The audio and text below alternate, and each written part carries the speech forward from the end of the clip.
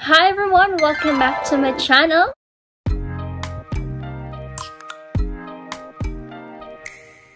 So ngayon, I have a new video. It I'm gonna tackle about how to avoid being offloaded in your phone. So if ever you experience that kind of scenario, so this video is for you. So I'm gonna give you tips para hindi kayo ma-offload sa flight niyo. So let's start! So what are the tips to avoid being offloaded in your flight? So I'm gonna give you tips right now. So first one is you need to be early. Early in a way na dapat uh, you should be at the airport 3 hours prior to your departure time if you're going uh, uh, if you're going to take an international flight. And 2 hours prior to your departure time if ever domestic naman yung flight nyo. So yes, be early para early kayong maka-check-in sa counter. And if ever you're going to take the international flight, be early sa check-in count uh, sa check-in counter and also para uh, maaga kayong makalusot sa immigration kasi there are times na mahaba yung pila ng immigration. So, you should be early going to the airport, uh, going to the check-in counter and also sa immigration. And then the second one is check all your documents like passport, visas, ticket, um, your certificates if you have So you need to check all your all of your documents para hindi na kayo magka-problema upon checking in at the counter because all of the things that you have included your ticket, your passport, your visa, and your certificate. So the passenger service agent will gonna ask you for that. And not only for the PSA, but also um, immigration will gonna ask all of your travel documents because travel documents are very important, especially especially especially if you if ever you're traveling to abroad or to um, to international countries. So it's very important that you have those kind of travel documents. So yes, and then the next one is check your ticket. Yes, check your ticket if you have a baggage allowance. Kasi there are tendencies that um you're expecting that you have a baggage allowance but in but then you don't have any upon checking it checking in at the counter. And so if ever that kind of scenario uh you're gonna bump into it so it will cost you a lot yes because over the counter you will gonna pay 200 200 or more per kilogram. So it will gonna cost you a lot of money. So to avoid that kind of thing always make sure in your ticket that you that you have a baggage allowance or you purchased another prepaid baggage. So para safe yung bagahe nyo or yung malata nyo or yung yung weight ng baggage nyo.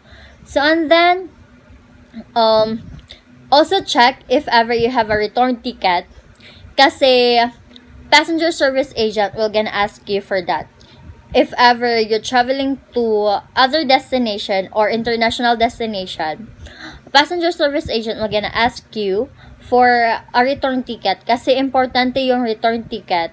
Um, the reason why passenger service agent ask you for for a return ticket is because para malaman namin na babalik talaga kayo ng Pilipinas. Hindi kayo magsistay longer sa ibang bansa. It's it's all it's also for your own safety and also for your for the security. So yes, and then also immigration will gonna ask you for that also for your return ticket if ever tourist ka lang sa ibang bansa. So yon. And then also make sure uh, you don't have anything that is pro- prohibited. Like for example um, those flammable items batteries the power banks and also the lighter. If ever you have lighter inside of your baggage please surrender it sa counter or sa or sa passenger service agent para hindi magka-problema yung baggage nyo uh, sa baba.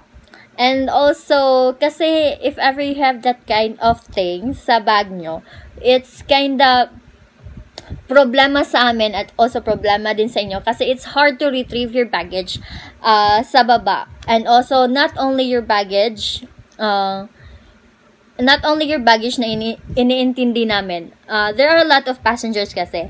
So yes, if ever you have that kind of um, item inside of your baggage, those prohibited items, please render it sa counter para hindi kayo magka-problema upon boarding and also uh, yung baggage nyo. Para hindi din, uh, para hassle-free din sa inyo. And also for us, hassle-free.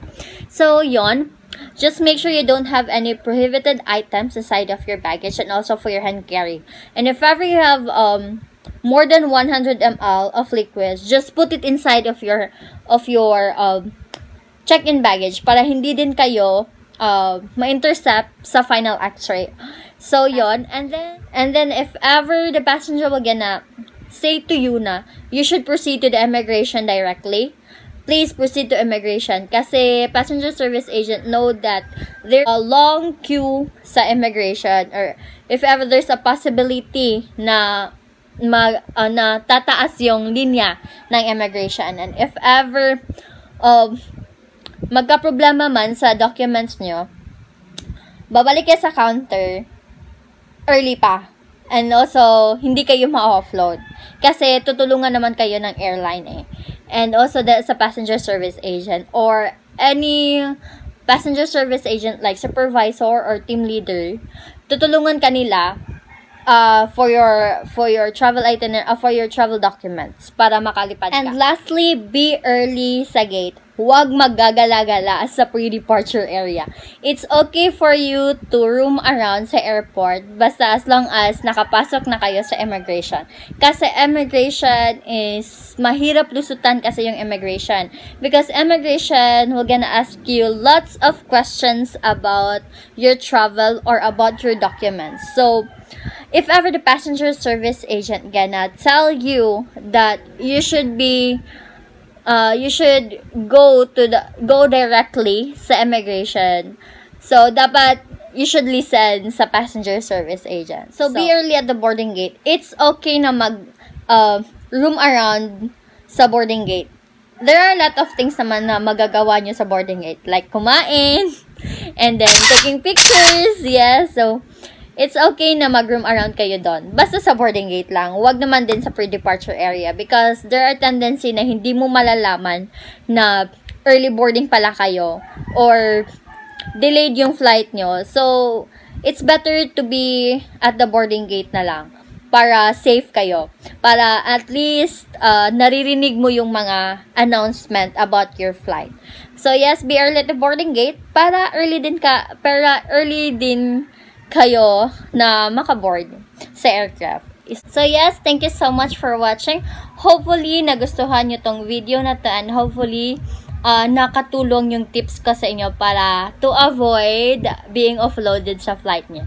So if ever you have anything to ask uh, with regards to your flight or with regards to passenger service agent, please uh, comment down below and hindi po ako mag-hesitate to answer all of your questions.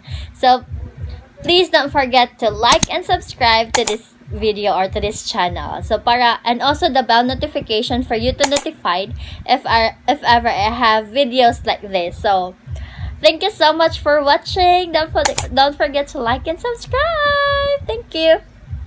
Bye.